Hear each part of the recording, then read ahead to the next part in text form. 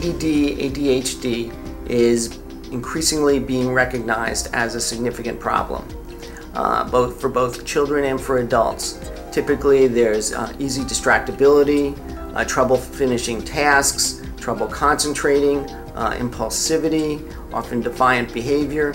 These and other behaviors make life extremely difficult for kids with a lot of ADD.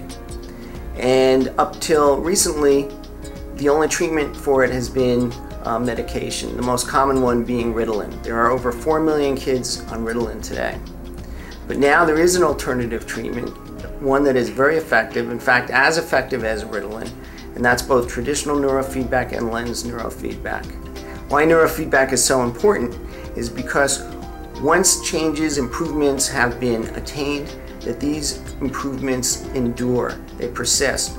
So a kid, an adult, no longer has to keep taking medication once they've been able to get off it. Sometimes we can't completely get someone off medication, but they do much better on the amount of medication that they're on. And they're almost always able to um, significantly reduce it.